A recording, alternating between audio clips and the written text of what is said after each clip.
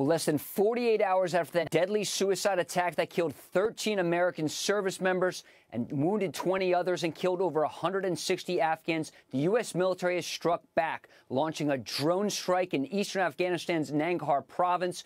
That's the headquarters of the ISIS in Khorasan group, which has carried out those deadly attacks against those Americans. Pete, in a statement from U.S. Central Command, uh, Captain William Urban said in a statement, quote, Initial indications are that we killed the target. We know of no civilian casualties. Now, if you remember, President Biden just a few days ago said he will hunt down and kill whoever's responsible for this attack. It was not clear when that would take place. The U.S. military has been busy preparing to leave the country in the next two or three days. But breaking news here at the Pentagon the U.S. military has struck back and killed an ISIS planner. I'm told he was traveling in a vehicle and also killed was an associate with him.